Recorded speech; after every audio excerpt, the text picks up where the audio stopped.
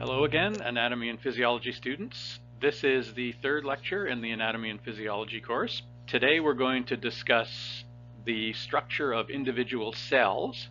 Uh, this is pretty small scale stuff. It's not really what we discuss in, in what's known as gross anatomy, where we discuss large body parts and so on. But we have to get through it because it's part of the course curriculum. Okay, so let's discuss cells, individual cells. Okay, so the difference, one of the main differences that a biologist in general has to know is the difference between something called a eukaryotic cell and a prokaryotic cell.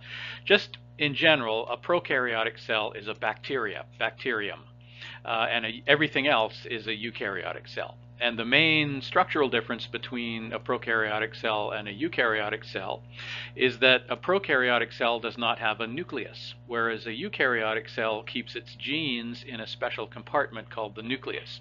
Uh, in addition to that, eukaryotic cells tend to be a lot bigger than prokaryotes. Uh, you can also call any animal that, that has cells that have nuclei in them, you can call that animal a, a eukaryote, whereas any bacteria is referred to as a prokaryote. All right, now within within the cell, if you look at either uh, a prokaryote or a eukaryote, there are little tiny organs inside the cells, uh, and and uh, as you know, the human body is composed of organs. We have a heart and a liver and kidneys and so on, and plants have organs too. Little tiny organs that carry out specialized functions in the cell. Uh, except that they're so small that we don't call them organs, we call them organelles. We call them organelles.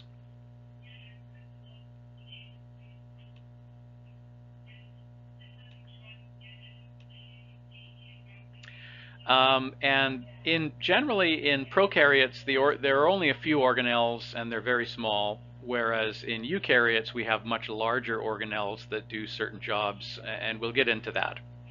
Okay, uh, examples of organelles include the nucleus, which I just mentioned, something called the endoplasmic reticulum, things called mitochondria, singular word for that is mitochondrion. Okay, and then we'll tell we'll we'll discuss uh, briefly discuss the difference between a plant cell and an animal cell. Basically, they're very similar, except that plant cells are photosynthetic generally, uh, they, and therefore they have an organelle that is called a chloroplast. So chloroplasts are organelles that are photosynthetic, which allow the plants to generate energy from the sun, from sunlight. Animal cells don't have uh, chloroplasts, both plant and animal cells have mitochondria, but uh, animal cells don't have chloroplasts, and that's why we're not photosynthetic, so we can't generate power from the sun. Um, but in addition to that, a plant cell also has a, a rigid structure on the outside of the plant cell called a cell wall. Okay, and then we'll we'll compare the relative sizes of cells. As I mentioned earlier, the size of a eukaryotic cell is usually much bigger than the size of a prokaryotic cell. And then finally at the end, we, we will look at some of the microscopes that are used, some of the different types of microscopes that are used to look at cells. Uh, a lot of the structures that we're going to study in this course for anatomy are visible with the naked eye, but if we're looking at a smaller level, if we're looking at tissues or something like that at the smaller level and we need to we need to examine individual cells, we need to use a microscope. So there are several different types of microscopes that biologists typically use and we'll have a brief review of those. All right, so a cell is the smallest unit of life. Uh, if you study anything larger than a cell, you're a biologist. If you study anything smaller than a cell, you're probably call your, calling yourself a biochemist. Okay, now first, going from the outside in, the boundary of the cell, the outer wall of the cell is referred to as the plasma membrane, and it is made of phospholipids, which we discussed in the last lecture, the lecture on macromolecules. So if you take two layers of phospholipids and you make them face one another so that the, the phosphate groups are on the outside and the lipids are on the inside, then you have a circular structure called a plasma membrane. Okay, so both animal cells and plant cells, as well as bacterial cells, they all have a plasma membrane. That's one thing they all have. In addition to that, plant cells have a cell wall, which is made of a polysaccharide called cellulose. Okay, so don't confuse the plasma membrane with the term cell wall because cell wall refers specifically to the to the rigid wall that surrounds a plant cell.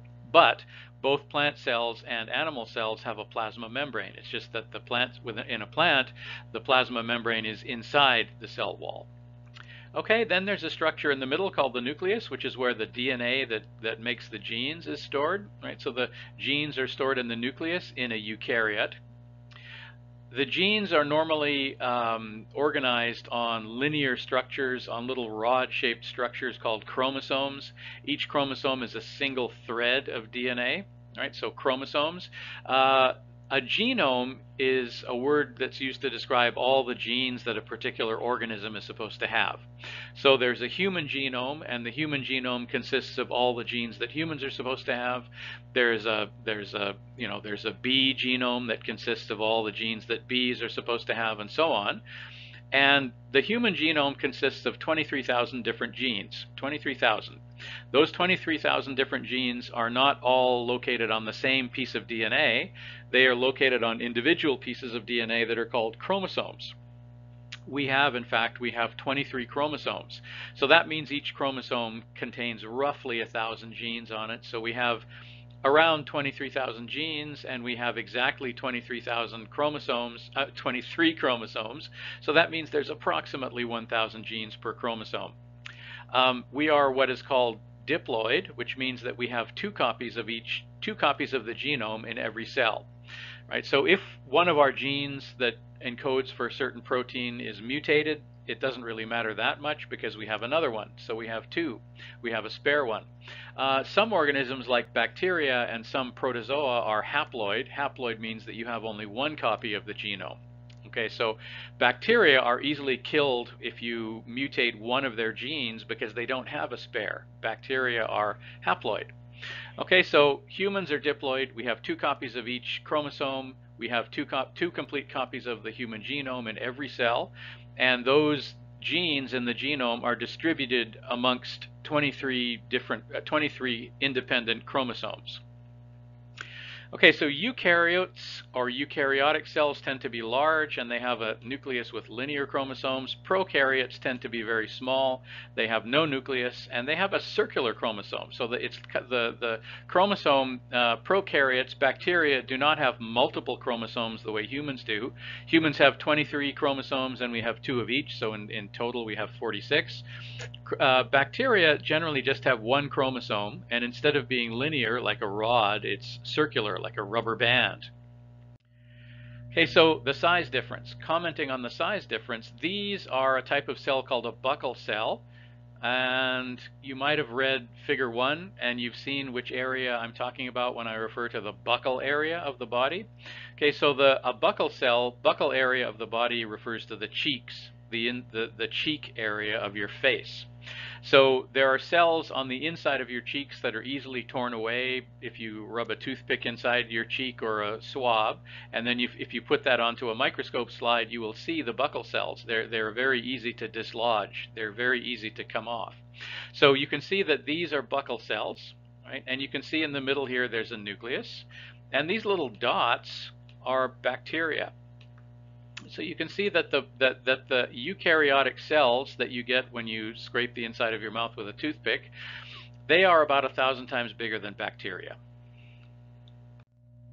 Okay, so here's a diagram of a cell, and you can see the nucleus right there, and you can see the plasma membrane on the outside, and you can see some of the other organelles like mitochondria and the rough endoplasmic reticulum on the inside.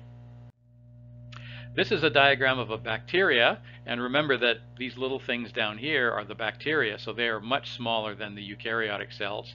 And bacteria uh, do not have a nucleus. They have a single uh, chromosome that's that's uh, round. It's a circular chromosome, and the circular chromosome is usually kind of balled up, as if you took a rubber band and you rolled it between your two hands. Instead of a rubber band, you would have kind of a ball. The the circular chromosome would would round up into a kind of a twisted ball. And that's exactly what happens to the singular, the single circular chromosome that you find inside a bacterium. Okay, so again, the scale is quite different. You can tell the difference between large eukaryotic cells and small bacterial cells. All right, so how big are they? Well, eukaryotes in general, uh, if you're talking about in the human body, the average size is about 10 micrometers. Okay, so we'll discuss what a micrometer is shortly. But basically, if you take a meter stick and you divide it into 100, you have centimeters, right? So one centimeter is one one hundredth of a meter. If you divide a meter into a thousand, you have a millimeter. That's a millimeter. If you divide a meter into a million, then you have a micrometer, which is also called a micron for short. And cell biologists, people who study cells for a living, tend to discuss cells in on the scale of microns.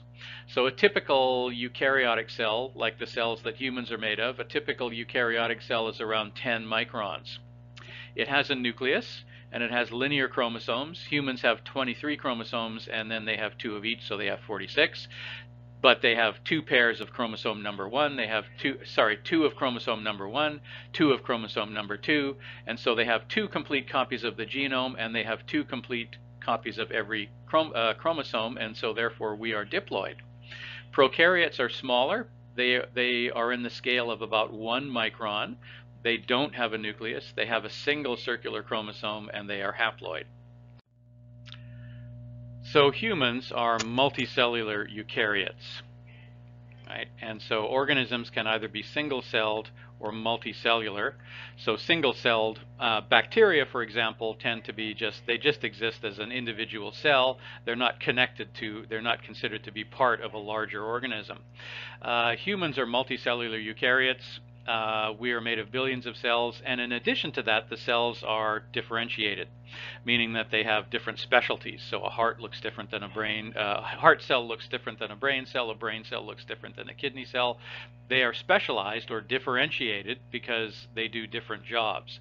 Whereas bacterial cells are all the same, and protists and fungi, the cells are usually all the same. All right, so let's just briefly introduce ourselves to some of the other types of organisms in the world. So bacteria are small single-celled prokaryotes. Example, Staphylococcus aureus. Staphylococcus aureus is a bacteria that you find on human skin. Uh, it's harmless if it remains on human skin. If you cut yourself and it gets underneath the skin, it will cause a, it will cause a reaction. It will cause an infection. Uh, so, so an example of a bacteria would be Staphylococcus aureus. Uh, there's other types of organisms on Earth that we refer to as yeasts. A yeast is a small single-celled eukaryote uh, uh, that grows as a mold or a fung uh, like a, similar to a fungus. Example, a nice example of a yeast that is relevant to humans is called Candida albicans. Candida albicans is also present on the surface of the skin. So we have millions of Candida albicans cells on the outside of our skin per square centimeter and it's normally on the outside of the skin but again if you cut yourself and it gets inside the skin it will cause an infection. So staphylococcus aureus and candida albicans are both referred to as they're both called they're both something called opportunistic pathogens. Pathogens are microbes that make us sick microorganisms that make us sick, these are very small. Bacteria and yeast are very small cells. And you need a microscope to see them. You don't really notice that they're there. And they are generally harm harmless unless they end up somehow end up someplace where they're not supposed to be. So as I said, if you cut your skin, they are normally found outside the skin, but if they can get under your skin, they'll cause a problem. And so that's something, when something does that, we refer to it as an opportunistic pathogen. All right, fungi are the true molds. Molds. You know, you know, you leave a piece of bread around too long, you see this blue mold growing on it. Um, so fungi is a uh, fungi are basically multicellular yeasts. So yeasts are, if you think about yeasts, they are individual fungal cells, whereas a fungus, fungi are multicellular yeasts. An example of a fungus that's relevant to humans is called Aspergillus flavus. Aspergillus flavus grows on vegetables and on grains and things like that. It will it will cause spoilage of corn or spoilage of peanuts, for instance. And it's it's significant to humans because it actually causes liver cancer if you eat it. So it is always a bad policy to, to eat moldy food. So if you have a piece of bread that has mold on it, you can't cut the piece of bread in half and then throw away the moldy part because parts of the moldy parts of the mold have extended underneath the surface and so the the fungus is distributed all the way through the bread and if you eat it you might cause yourself to have lung uh, or uh, liver cancer because many of the fungi will do that. They will cause liver cancer if you eat them. All right. A protozoa or a protist is a large single-celled eukaryote. Uh, an example that's relevant to humans is something called Giardia lamblia. Giardia lamblia is a uh, is a is a uh, an interesting protist that lives in water. Uh, it, it, it usually gets into water because the water is contaminated by animal droppings, uh, and that's an example of a protozoa. And then animals and plants are large multicellular eukaryotes. Humans are an example of a large multicellular eukaryote, and the genus and species name for humans, by the way, of course, is Homo, Homo sapiens. Okay, so you've seen how small bacteria are. Uh, these, the large round cells in this picture are yeast, and then the small rods, the small bacilli, are bacteria. This is Aspergillus flavus growing on an ear of corn. If you eat that, you will get lung, uh, uh, liver cancer. Right, so it's very bad for you. Uh, in general, molds are not good to eat. There are a few exceptions because mushrooms are considered to be fungi. Uh, and you can eat a mushroom without causing any harm, but many mushrooms you should never eat because they are poisonous. All right, so mushrooms are also an example of fungi. Okay, protozoa, Giardia lamblia. Uh, this is an example of a protist, which lives in the water. Uh, these are primitive organisms that have been around for a, a, few billion years, a couple of billion years before humans evolved. And uh, they're kind of interesting. They have two nuclei, but this is not normal, or this, that's kind of a rare feature for a protist. Okay, so plants and, and animals are multicellular cellular eukaryotes. This is a microscopic picture of human skin. Notice that all of these cells, these little triangular shaped things are human skin, the outer layer of human skin, and they notice that they're tightly held together and there are billions and billions of them.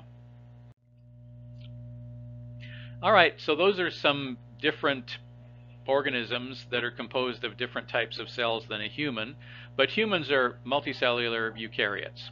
All right, let's now look at the characteristics of each of the individual cells that makes up a person. Okay, so as I said, the plasma membrane is the outer boundary of the cell. The nucleus is where the genes are contained. Ribosomes are very small organelles where proteins are built. Proteins are synthesized. The technical term for building a protein is called translation. So proteins are translated on ribosomes. Also, uh, the endoplasmic reticulum is located just outside the nucleus. This is a network of membranes where proteins that are intended to be exported out of the cell are translated. Uh, there's a slight difference between what we call the rough endoplasmic reticulum and the smooth endoplasmic reticulum. The rough endoplasmic reticulum is associated with a lot of ribosomes, so we have ribosomes stuck to the outer surface of the rough endoplasmic reticulum, whereas the smooth endoplasmic reticulum does not. The smooth endoplasmic reticulum is where lipids are built. Right? So the rough endoplasmic reticulum is where proteins that are meant to be exported out of the cell are built, and the smooth endoplasmic reticulum is where lipids are, are synthesized. Okay, the Golgi complex is another network of membranes where proteins are glycosylated. The word glycosylation means when you stick, when you attach carbohydrates to proteins. So there are some proteins that in order to do their job, they have to have certain sugars attached to them as well and you attach these sugars in the Golgi complex. Okay, next, mitochondria, singular mitochondrion. These are basically the energy factories of the cell. Uh, glucose is taken into cells and then put into the mitochondria. The mitochondria then break down the glucose in a series of discrete steps and then use the energy that's released to create a smaller energy molecule that is called ATP, adenosine triphosphate. And so uh, uh, they're kind of, in a way, they're kind of like a bank as well. If you consider energy to be like money, uh, if you have a $1,000 bill, you have a lot of money, but you can't really spend it anywhere because nobody can make change for that. Uh, you can't go and buy a chocolate bar with a $1,000 bill because the, the cashier doesn't have any change for that. So you go to the bank and you say, change this $1,000 bill for a whole bunch of $10 bills, and the bank can do that.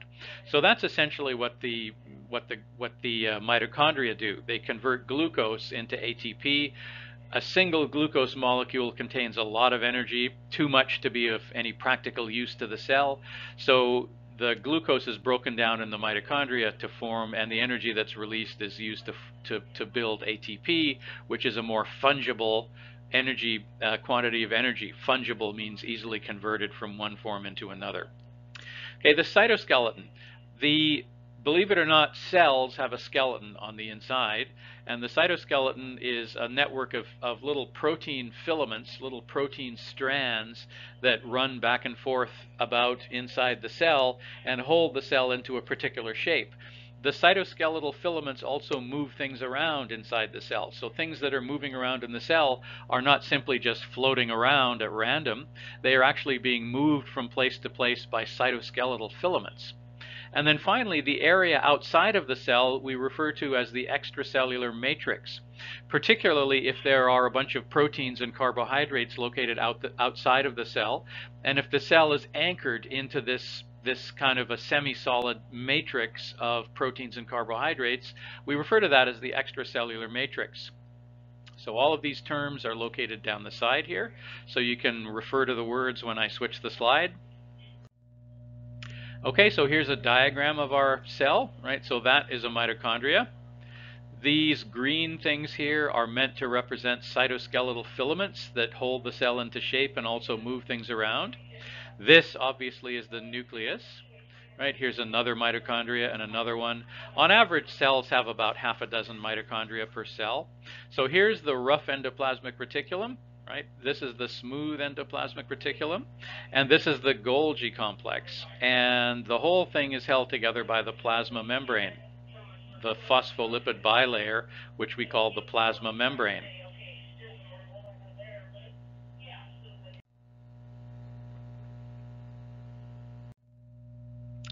All right, so as we said, the plasma membrane is the boundary of the cell and it's made of a phospholipid bilayer, two layers of phospholipids.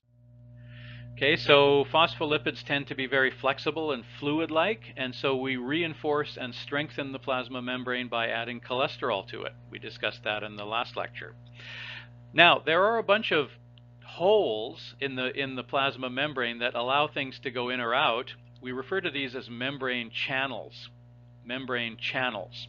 Uh, they are basically holes or tubes that let things in or out, and they can be opened or closed depending on whether the cell wants them to be open or closed. And they move things in and out of the cell through either what's known as active transport or passive transport. Okay, passive transport means that if you if you leave the hole closed and you open it, things will move in and out of the cell according to the concentration gradient or along the concentration gradient. What do I mean by concentration gradient? I'm talking about diffusion. So if something is concentrated on the outside of the membrane and is, is less concentrated inside the membrane, which direction will it move? Things will diffuse into the cell inside the membrane until the concentration is equal on both sides of the membrane. That would be traveling, traveling either in or out of the cell depending on the concentration gradient. So for example, if you have a high concentration of sodium outside of the cell and a low concentration of sodium inside the cell, you open up one of these channels and the sodium will go into the cell until, until you have an equal concentration of sodium on both sides. That's referred to as passive transport because the molecules are moving simply according to concentration. They're diffusing and moving from an area where they are more concentrated to an area where they're less concentrated. So that would be passive transport. However, the cell is capable of actually physically pumping things in or out of cells against the concentration gradient. For example, you can do active transport if you have a high concentration of sodium outside the cell and a low concentration of sodium inside the cell, the cell can actually use energy to pump sodium outside the cell where it's already really concentrated, where it's already very concentrated. Obviously that takes energy. It takes energy to move something from an area where it's uh, where it takes energy to move more things into an already crowded space. So you've probably seen, you may know that in Japan, for instance, the subways are very crowded and they have ushers that when the subway is about to leave, the purpose of these ushers is to jam and push more people into the subway. Well, active transport is sort of like that. It takes energy to push molecules into an area where they are already concentrated. Their, their natural tendency is to go the other way. So a cell typically expends, expends a lot of energy to push things out using active transport. And the energy source that they use is ATP. Okay, now on the surface of the cell, we have things called receptors, cell surface receptors that receive signals from uh, other cells and other parts of the body. Those signals are usually cytokines, which are small proteins, or growth factors, which are small proteins as well, or hormones, which are actually lipids. All right, now the cell membrane, the plasma membrane, is said to be selectively permeable, which means that water can go in and out freely, but other things can't. Okay, now that's interesting because let's say that you have a cell and the cell has a low concentration of sodium inside the cell and a high concentration of sodium outside the cell. We haven't opened any of the channels. The sodium is not free to move in or out of the cell, but the water is. So you'll have kind of a funny version of diffusion, which is called osmosis. And osmosis, what osmosis is, is that the water will move to an area where the water is less concentrated, if I can put it that way. So, so if you have a high concentration of sodium outside the cell, that's the same thing as saying that you have a low concentration of water outside the cell. So the water will move from the inside of the cell to the outside of the cell in an attempt to equalize the concentration of water on both sides of the membrane, which would be the same as, as equalizing the concentration of sodium on both sides of the membrane. So typically, if you put a cell into a very salty solution, it will shrink because water will, will diffuse out of the cell by osmosis. If you put a cell into a, a solution of a salt solution where the salt concentration is lower outside the cell than it is inside, then water will diffuse into the cell and it will swell up or perhaps even burst. And that in, in that happens in many tissues in the human body. When you have swelling, what's actually happening is that water is diffusing into the cells and causing the cells and the tissue that those cells make up to swell and uh, that's called the technical term for that in medicine and physiology is called edema e-d-e-m-a edema. All right now the area inside the cell is referred to as the cytoplasm by the way. Okay, so here's a diagram of the phospholipid bilayer showing you the phospholipids. It's also showing you the cholesterol here, and it's also showing you membrane channels and membrane receptors located on the surface of the cell. Okay, so here we have one cell sending a signal to another cell. The cell is a cytokine or a growth factor or in some cases a hormone and that, that uh, signal is received by something called a cell surface receptor on the other cell. That cell surface receptor will then transmit the signal that it received to the nucleus and turn on some genes or turn on off some genes depending on what the cell has been told to do. Okay, so as I said, the membrane is selectively permeable. Water is free to cross in and out of a cell, but other things are not. Okay, so osmosis is a term that we use to describe water going in or out of a cell based on how concentrated the salts are either inside or outside of the cell. And the, whether water will go in or out will depend on the tonicity of the solution outside the cell. Right, so tonicity means how concentrated is the solution. Uh, in an earlier lecture, the chemistry lecture, we, we learned about the concentration of solutions. Right, so suppose that you have a cell that has 100 millimolar sodium chloride inside the cell, and then it has 500 millimolar sodium chloride outside the cell. We say that the solution outside the cell is, we say that the cell is in a hypertonic solution. The cell is in a hypertonic solution because the solution of the, the, the solution is more concentrated outside the cell than it is inside the cell. Okay, so if you put a cell into a hypertonic solution, water will go out of the cell and it will shrink. On the other hand, if you put a cell into a hypotonic solution, water will go into the cell and it will swell up. It may even burst if the difference in concentration is great enough. And then finally, if you put a cell into a solution that has equal concentrations of whatever solution you're talking about, both inside and outside the cell, that is referred to as an isotonic solution. So the word iso means the same. Isotonic solution, water will neither go in or out of the cell uh, in fact, it goes in and out of the cell at the same rate, but the cell neither shrinks nor swells. It remains the same size because it doesn't actually gain or lose a net amount of water. Okay, so as I said, in human physiology, we care about this because if you have cells, if, if for whatever reason the, the, the saltiness or the concentration of solutes in the blood drops, that will cause that will cause water to seep into the cells and the cells adjacent cells and cells will swell up and we call swelling edema. Technically swelling is called edema. If you put human cells into a hypertonic solution the swelling will go down because the water will go out and the cells will shrink. Right, so swelling is caused by swelling or edema is generally caused by varying the salt concentration in the blood, uh, and it's actually not salt that we're it's not salt like sodium chloride that we're varying. It's actually proteins uh, dissolved globular pro dissolved globular proteins in the blood have a, have an influence on the tonicity of the blood. So uh, if if you have a lot of dissolved proteins in the blood, then the blood will be hypertonic relative to the cells. And if you have few only a few dissolved proteins in the blood, then the the blood will be hypotonic relative to the cells. So here's an example of edema. This is technically called pitting edema. This is where you push your finger against the swollen tissue and then when you take your, your finger away, it leaves a pit. Right, so we call that pitting edema or just plain edema. Just call it plain edema. Okay, this is an example of anaphylaxis. Anaphylaxis we'll be talking about several times in this course. Anaphylaxis is where uh, the, the, the soft tissues of the body swell up because water has diffused out of the blood into the soft tissues. Soft tissues include adipose tissue, which we'll talk about later. Uh, so if and this can be triggered sometimes by an allergic an allergic reaction to something. So you may you may know somebody who has a peanut al allergy or an, an, allergy to bee stings or to wasp venom.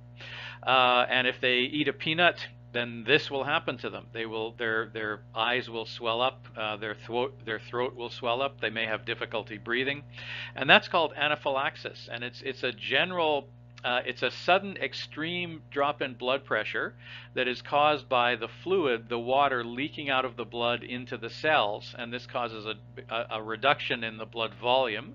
And the reduction in the blood volume causes a drop, a rapid drop in blood pressure, which can be very dangerous. Okay, so this is anaphylaxis. We're going to talk about anaphylaxis quite a few times in this course.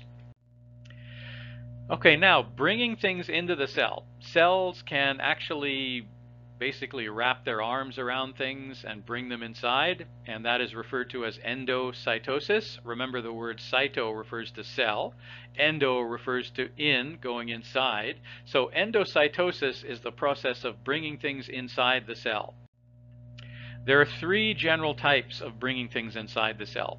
I just mentioned the fact that some cells have, in fact all cells have different types of receptors on their surface and those receptors are stimulated by signals and those signals are, the, are signals that are actually made out of protein. So cell surface receptors don't receive signals like television signals or radio signals. They receive protein signals where another cell or cells will send out a protein that attaches to a surface on the uh, a receptor on the surface of the cell. And then what happens when those proteins, those cytokines or growth factors attach to the cell receptor is that all of the receptors that have been touched by these by these cytokines will cluster together they will form a group and then they will go inside the cell. And that is referred to as receptor-mediated endocytosis or RME. So RME is where you take, you attach things to receptors on the surface of the cell, they cluster together into a cluster, and then they're taken inside. So that bringing things inside the cell is called endocytosis. And then if it is if that process is mediated by receptors, we call it receptor-mediated endocytosis. Now sometimes things that are pretending to be cytokines can use this can exploit this property to to sneak into a cell when they're not meant to get into a cell. A perfect example of that is the human immunodeficiency virus, the AIDS virus. The AIDS virus pretends to be a cytokine. It has proteins on its surface. The virus has proteins on its surface that look very much like the cytokine that's supposed to attach to a cell surface receptor called CD4. And so the cell, these viruses attach to the outer surface of the cell, the, the, the CD4 receptors cluster together and then bring it inside. So the HIV virus, the AIDS virus, gets into gets into human cells using receptor-mediated endocytosis. It's kind of like a letter bomb. You know, if you have a terrorist who's sending bombs to people through the mail, you take you receive this parcel, you take it inside, and when you open it, it, ex it explodes. That's basically how the HIV virus gets inside, it through receptor-mediated endocytosis. Okay, cells can also drag in large particles of food. That's called phagocytosis. So the word phago is an ancient Greek word meaning to eat. Right? So phagocytosis is cell eating. Cell drinking is called pinocytosis. Okay, so here we have an example of receptor-mediated endocytosis. On the On the left-hand side, you can see a, a, microscope image of a bunch of cytokines attaching to cell surface receptors here. And then they cluster together and they form a, what's known as a vesicle. So here we have these red triangles are meant to be cell surface receptors, and the uh, sorry, the, the red Y-shaped things are meant to be receptors, and the purple triangles are meant to be a cytokine. And the general term for things that attach themselves to receptors is the word ligand or ligand. Right? So the word lig ligate means to join together. And so a ligand means something that you join to something else. Okay, but in this case, the ligands happen to be cytokines. Okay, so the cytokines attach to the cell surface receptors. They all cluster together like this and then they are brought inside the cell in a in a vesicle or a container. Right, so here's the word vesicle down here if you don't know how to spell it.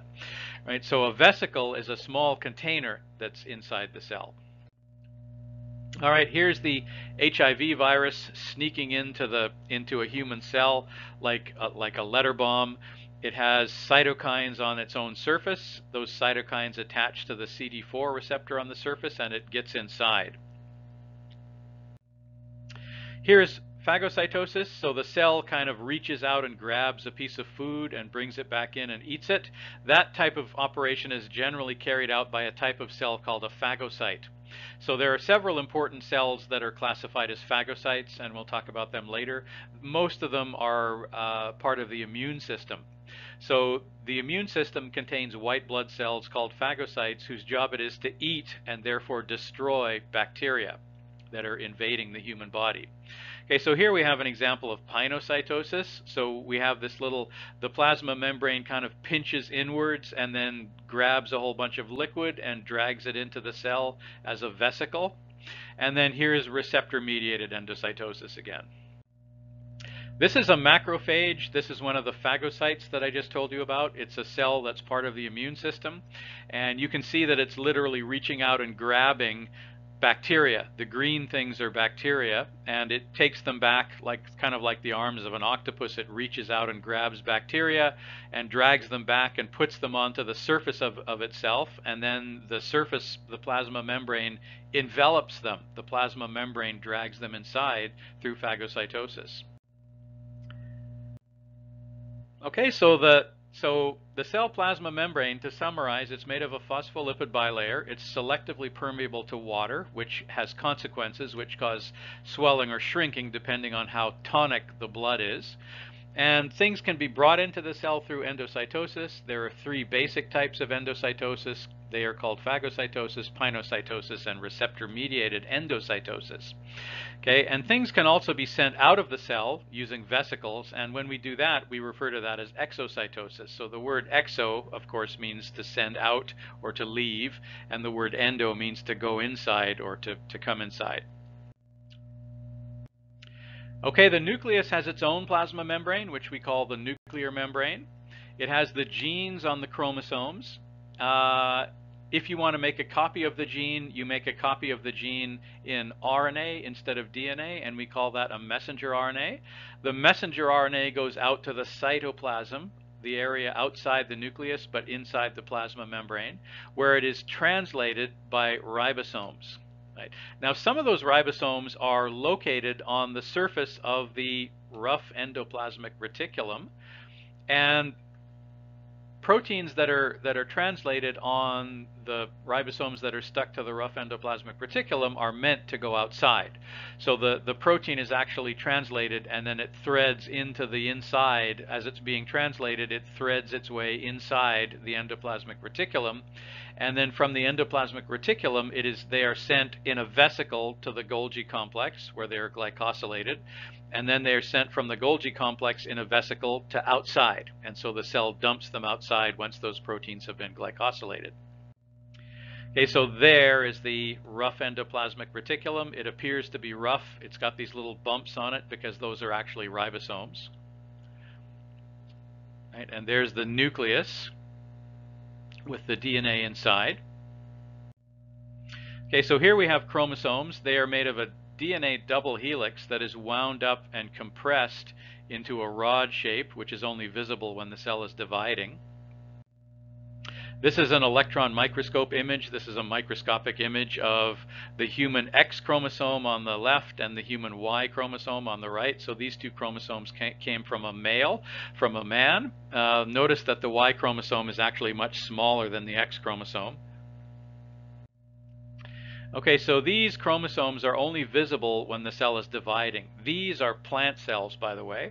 So the one of the easiest ways to tell the difference between plant cells and animal cells is that plant cells are polyhedral. So in this case, they're square. So polyhedral just means they have they have a kind of a rigid uh, cell wall that's held that has corners to it. It has corners, so it might be a cube shape. In this case, this is the these cells are present in the in an onion root. This is the root of an onion, and this the cells are cube shaped basically. But there are other plant cells that are octahedral shaped or or various other polyhedral shapes. Okay, now we're looking at this at the cells in this onion, and some of the cells are dividing and the cell in the cells that are dividing you can actually see the chromosomes whereas you can't see the chromosomes in the cells that are not dividing because the chromosomes basically unwind. They decompress and unwind in between cell divisions so that the individual chromosomes are not are not visible right? And the the analogy that I like to use for that is it's like saying when the cell is dividing, it's like you're moving into another house, and so you have to pack everything into boxes. Okay, can you can you you you pack all of your books into boxes in preparation for the move? Can you read those books when they're in boxes? No, you can't. You have to wait until you get to the new house, and then you open up the boxes and you take all the take all the books out and then you can read them. Well, if you think of the chromosomes as being like library books because they contain instructions on how to build proteins, the cell that's dividing has already packed up all of its books into boxes and they can't be used until you take them until the cell is finished dividing and you take them back out of the boxes. Right? so that's my analogy.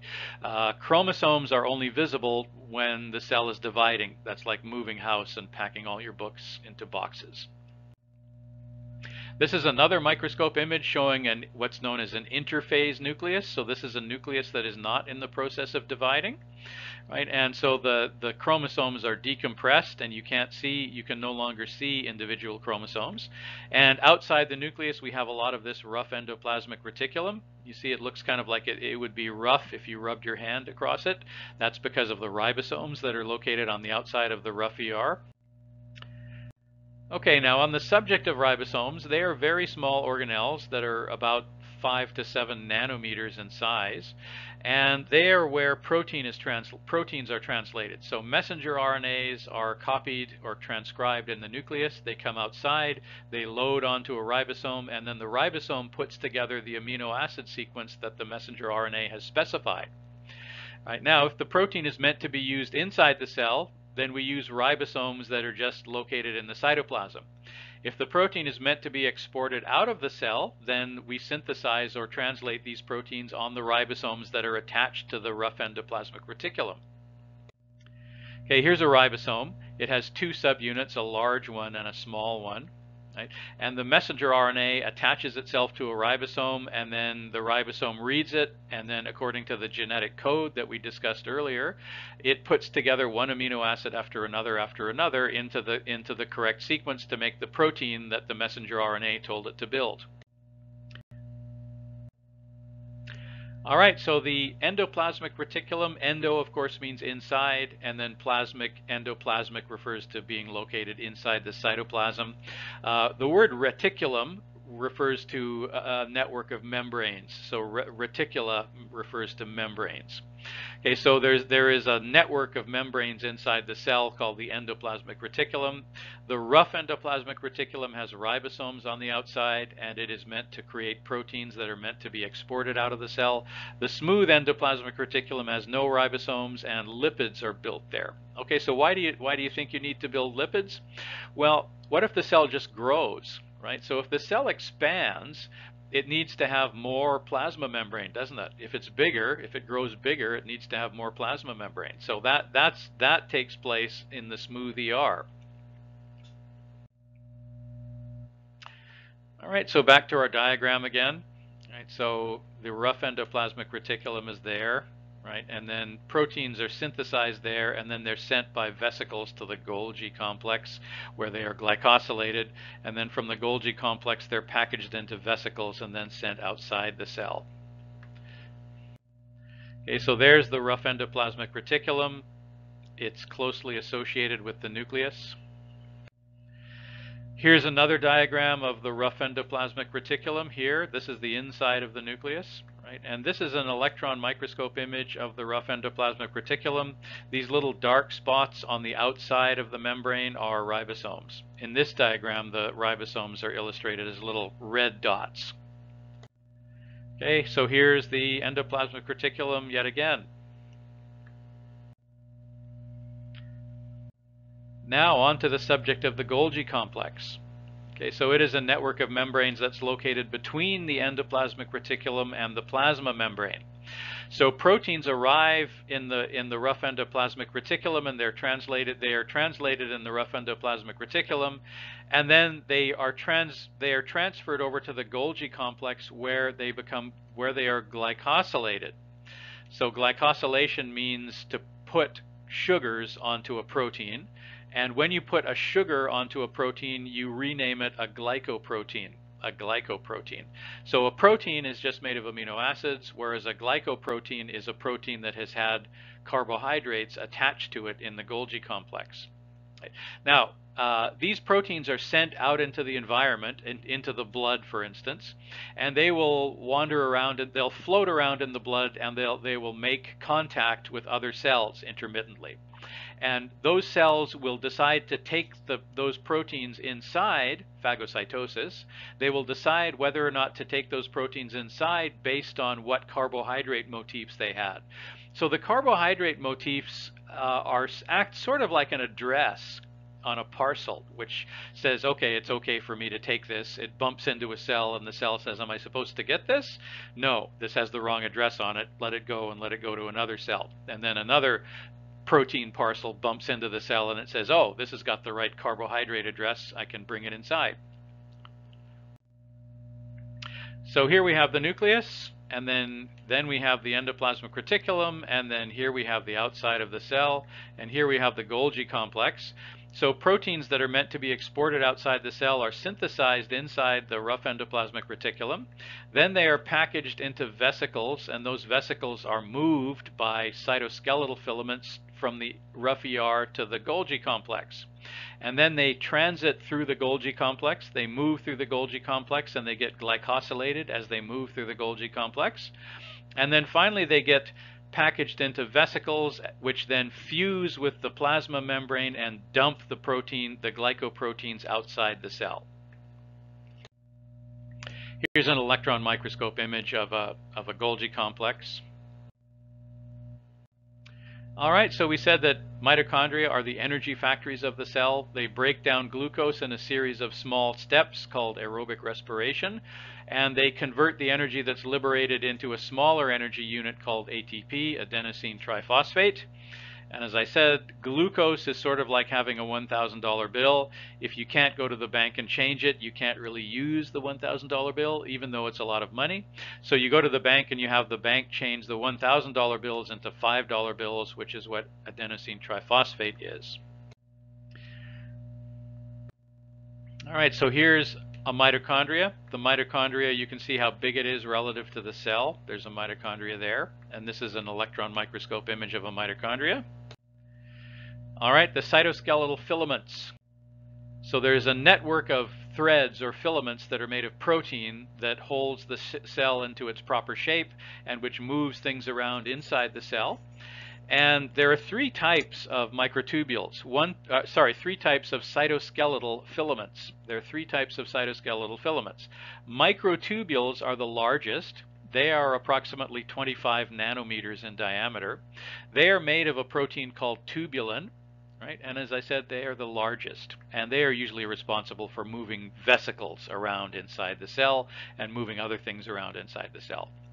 Okay, then the smallest of the cytoskeletal filaments are called microfilaments, right? And they are made of a protein called actin, right? So you do need to memorize tubulin and you do need to memorize actin.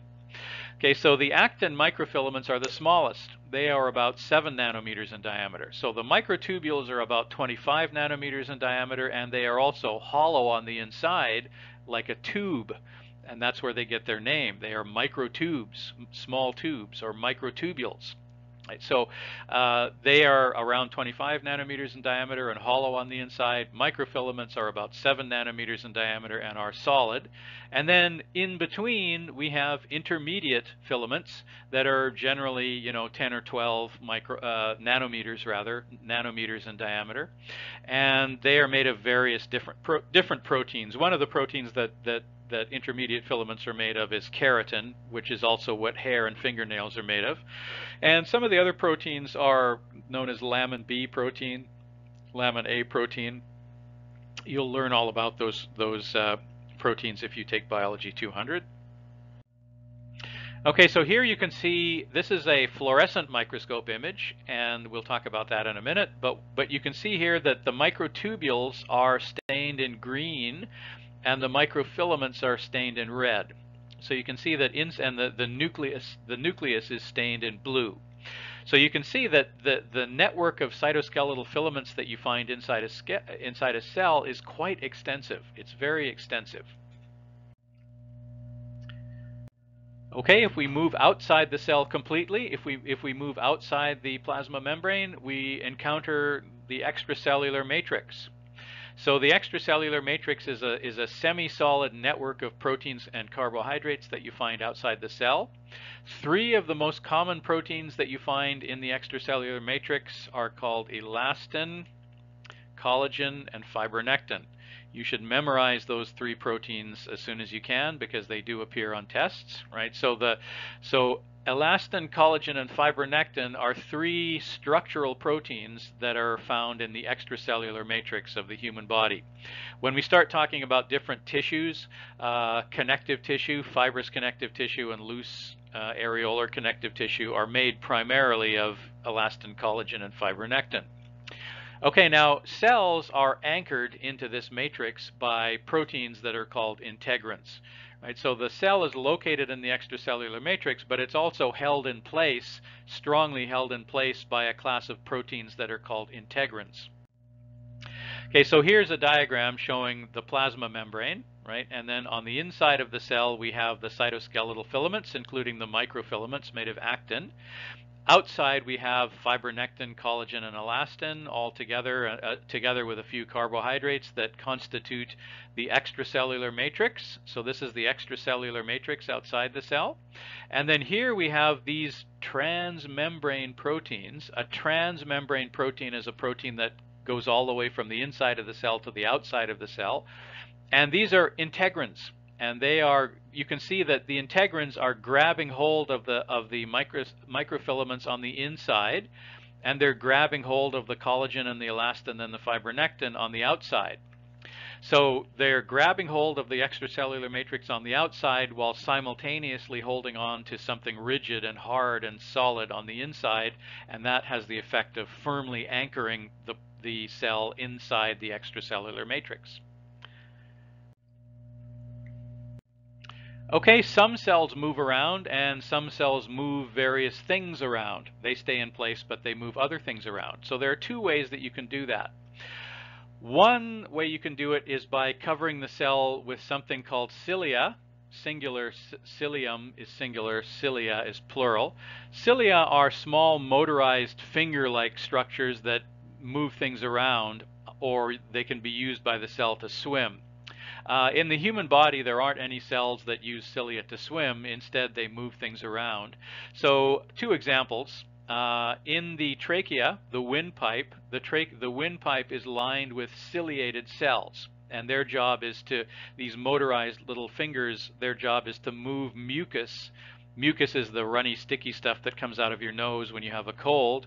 Their job is to move mucus that is located in the windpipe in the trachea, is to move that mucus up, up into the mouth so that you can cough it out and swallow it. So that's one place where you would find ciliated cells in the human body. The other place is you would find ciliated cells in the fallopian tubes, and their job is to trans is to move the eggs from the from the ovaries to the uterus. Right, so there are two places in the human body where you see cilia. Okay, there's one place in the body where you would find a flagellum. Flagellum is singular, flagella is plural. Right, so there are lots of bacteria that have flagella, and a flagella is a large whip that is used to swim, basically. So a bacteria, there are lots of bacteria that have flagella that kind of wave this whip around in the liquid that they're located in, and they use that to swim. Okay, so there are bacteria in the human body, but they're not meant to be there. Uh, but there are there is one place in the human body where you would still find cells that are fl flagellated, that that are meant to have a flagellum, and that of course is the sperm. Right, so male sperm is able to swim all the way up the vagina and through the cervix, through the uterus, and then up into the fallopian tubes. It does all of that swimming because it has a it has a whip attached to the end of it uh, called a flagellum, which it whips around. Okay, so here is a closer a close-up microscopic look at the trachea, and the trachea is covered with ciliated uh, ciliated cells that are there to move mucus upwards through the trachea. This is a diagram of what these cells look like. So you can see these these things here are called ciliated columnar epithelium uh, epithelial cells, and they have these cilia on the top that are that are there to move the mucus upwards through the trachea. And of course, there's a there's a flagellated sperm, so there's a flagella on the end of it, so that sperm is swimming on its way to fertilize an egg. Okay, and then here we have a number of sperms that have run into the egg. In the, usually they run into it in the fallopian tube of the of the woman, and and so these these sperms, these spermatozoa, are desperately trying to penetrate the outer plasma membrane of the egg and get inside. As soon as one of them gets inside, it will cause a, a change in the structure of the plasma membrane so that none of the others can get inside. So that's a way of guaranteeing that only one sperm will fertilize one egg. Okay, so what are the sizes of cells once again? Animal cells typically are around 10 microns in diameter. Plant cells tend to be larger, 50 to 100. Bacteria tend to be quite small, 1 micron. Mitochondria, which are the energy producing organelles in the cell, are also 1 micron in size and the fact that they're the same size as a bacteria is not a coincidence. Uh, mitochondria used to be independently living bacteria. At some point during evolution, probably a billion years ago, a eukaryotic cell swallowed some bacteria, and instead of dissolving it and digesting it, it just kept it, and then we've kept them ever since. Um, and then a ribosome is about 5 nanometers in size, which is about 0.005 microns. Viruses tend to be very small, about, about 10 nanometers or so. Okay, so if we're looking at things with microscopes, then we have to take the consider we have to take into consideration how big the things we're looking at are. So if things are quite large, anywhere down to half a micron or, or 50, 50 microns or so, up to a meter or two meters, like humans, right? We don't actually need a microscope to see. We can see them with the naked eye. If things are about 100 or 500 microns or smaller, we need to use something called a light microscope. That means we can see anything down to the size of a bacteria. We can certainly see a human cell or a plant cell using a light microscope. And if we want to see things that are much smaller than that, down to the nanometer scale, we use a special type of microscope called an electron microscope. So let's talk about microscopes. Light microscopes are also known as bright field microscopes. And there are two types of light microscopes, two types of bright field microscopes. One type is called one type is called a compound microscope, and the other type is called a dissecting microscope. With a compound microscope, you take whatever you're looking at and you slice it into thin slices, and then you put those thin slices onto a glass microscope slide, and then you put the slide on top of a light source, on top of a light bulb, and you look at it with a with a lens that you've put above the slide. So you have a light bulb below the slide that's illuminating the slide, and you have a lens, a microscope lens above the slide, which you're using to magnify the image. A dissecting microscope, you simply put the whatever it is you're looking at down and you look at the surface. And literally, sometimes people will, you know, you take a dead bird or something and you dissect it under the dissecting microscope, and then you see the surfaces of the dead bird as you're cutting the bird open and exposing new surfaces. Now, there's a variation of a light microscope which is called a fluorescent microscope. Instead of using visible light, it uses ultraviolet light. And if you use ultraviolet light, uh, the human eye cannot see ultraviolet light. But if you stain whatever it is that you're looking at with a stain, a fluorescent stain or a fluorescent dye, the fluorescent dye will absorb the ultraviolet light and then re-emit it at a longer wavelength, which we can see. Okay. Now, with a bright field microscope, with a light microscope, the resolution limit is about 0.1 or 0.5 microns. Resolution limit means what is the smallest detail that you can see. Right? So the smallest details that you can see with a light microscope are about 0.5 or 0.1 micrometers. So here we have two microscopes. This is a compound microscope. Here's the light source down here. Here are the objective lenses, and these things up here are called ocular lenses. The word ocular means eye. So you put your eyes up here, you put the slide in here in between the objective lenses and the light source, and then you're looking through the slide. You're looking through the specimen. With a dissecting microscope, you simply put it down, you put the specimen down here and you start cutting into it and you look at it from above and generally the light does not pass through the specimen that you're looking at. This is a fluorescent microscope uh, image, so this cell, this is a cell that has been stained with a fluorescent dye and the, the, fluorescent dye absorbs ultraviolet light and then re-emits it at a longer wavelength that we can perceive as colors. Electron microscopes are quite expensive and quite big. Uh, they are there are two types of electron microscopes called a transmission electron microscope and a scanning electron microscope. With a transmission electron microscope, you cut things up into slices and you look through them. With a scanning electron microscope, you look at the surface. And so in that sense, a transmission microscope is sort of like a compound microscope, sort of like a compound light microscope. And a scanning electron microscope is sort of like a, uh, a bright field dissecting microscope. Right. Now, the resolution limit for electron microscopes is much smaller than it is for bright field microscopes or light microscopes. It's about one nanometer. So it's about 500 times, uh, an electron microscope is about 500 or 1,000 times stronger in magnification than a light microscope. So the maximum maximum magnification that you can get from a light microscope is about 1,000 times magnification, 1,000 times. Uh, the maximum magnification you can get from an electron microscope is around a million, around a million times, uh, down to the nanometer scale. Uh, so now what electron microscopes instead of using visible light to illuminate the specimen they use a beam of electrons and instead of using glass lenses it uses copper magnets that that bend the electron beams to expand the, the beams and spread them out so that you can enlarge the image.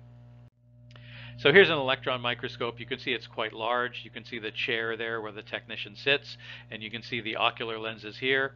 This, this tube contains the beam of electrons as well as the copper magnets, and then the image that you get is projected onto the computer. It always gives you a black and white image, never a color image. But in some cases, you take the black and white images and you're allowed to color them in just to make it easier to see what you're looking at. Okay, so on the top here we have an image that was taken by a transmission electron microscope. So this is a slice through a cell. And on the bottom we have a flea, which is you know probably half a millimeter in size. And it is uh, this image is taken by a scanning electron microscope. Okay, to summarize cell biology, we talked about the difference between prokaryote and eukaryotic cells. We talked about the difference between animal and plant cells. We talked about the difference between unicellular organisms and multicellular organisms. And multicellular organisms like humans tend to have differentiated cells where the cells are all different shapes and have different functions and they, they're using different subsets of the human genome. Uh, we had a brief discussion of microscopes and we had a brief discussion of the organelles that you find inside human cells. And that includes the plasma membrane that surrounds the cell on the outside. It includes the nucleus, which is where the genes are stored. It includes the smooth and the rough endoplasmic reticulum. It includes the Golgi complex, where proteins that are meant to be exported are glycosylated. It include the discussion included the mitochondria, which are used to, to generate energy uh, basically converting glucose into ATP. We discussed ribosomes, which are very small organelles that are used to translate proteins, and we discussed the cytoskeletal filaments that hold the cell in shape and also move things around inside the cell like vesicles, for instance. A vesicle is a small containers that you find inside the cell. Okay, so we talked about the plasma membrane being semi-permeable. We talked about the concept of uh, osmosis. We talked about passive and active transport. We talked about endocytosis, phagocytosis, pinocytosis, and receptor-mediated endocytosis. All right, so now you can proceed to Unit 4, which is on tissues and histology. This is getting this is uh, unit four when we talk about histology will be the first official anatomy lecture and it will it will be what's known as microscopic anatomy because we're looking at collections of cells that that are carrying out a function right? So uh, if you put together a whole bunch of cells that are all doing the same thing we call that a tissue and, and if you look at tissues as part of the study of anatomy, that's called microanatomy. If you're looking at whole organs, large organs, that's called gross anatomy, gross anatomy. Uh, so uh, I'll see you at the lecture for Unit 4. Thank you very much.